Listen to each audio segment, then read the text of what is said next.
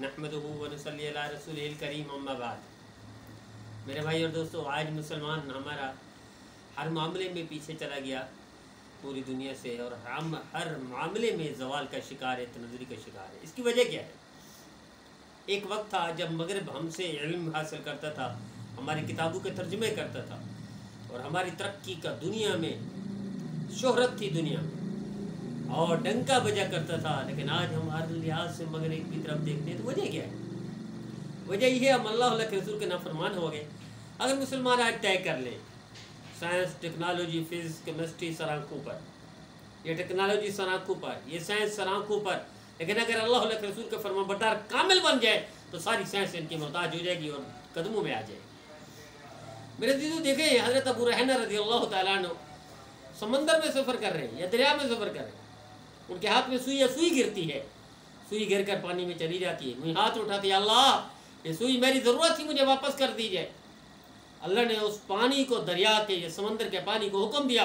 पानी ने वही सुई जो डूब चुकी थी, वही सुई वापस ऊपर, पानी के ऊपर आ जाती है, तैरती हुई। और हज़रत अबू रहना रज़ी उठा लेते हैं। ये ये साइंस टेक्नोलॉजी से नहीं, ये साइंस से नहीं, ये फिजिक्स केमिस्ट्री से नहीं, ये बायोलॉजी से नहीं, ये आज के इस बड़े बड़े साइंसदानों का कारनामा नहीं, ये अल्लाह के रसूल के फरमाबरदारों के तरीके से हो सकता है। तो आज भी अगर हम कुछ ना कर दें, इल्म हासिल करना फ़र्ज़ है, टेक्नोलॉजी हासिल करना फ़र्ज़ है, बायोलॉजी, फिजिक्स पढ़ना फ़र्ज़ है, फ़र्ज़ किफ़ाया है, पूरी उम्मत गुनागार होगी अगर पूरी उम्मत छोड़ दे। लेकिन अल्लाह के रसूल सल्लल्लाहु अलैहि वसल्लम के फरमाबरदारी फ़र्ज़ ऐन है और चौबीस घंटे। अगर हम कुछ भी नहीं कर सकते, दुनिया से तो वैसे पीछे हो गए, तरक्की से पीछे हो गए साइंस में पीछे हो गए फिजिक्स में पीछे केमिस्ट्री में पीछे, एक मैदान में तो आगे हो सकते हैं।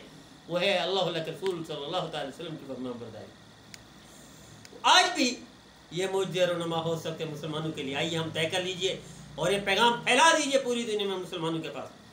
बड़ों को, छोटू को, मर्दों को, औरतों को, बच्चों को, जवानों को, बूढ़ों को, कि अल्लाह के रसूल के फरमाबरदार बन जाओ। जो चाहते हो दुनिया में वो होकर रहेगा। और अगर नहीं होते फरमाबरदार नाफरमान होते हो, बेवफा होते हो तो खसरत दुनिया वाला आखिरा दुनिया भी दबा हो गई, आखिरत भी बर्बाद हो जाएगी। अल्लाह हमें महफूज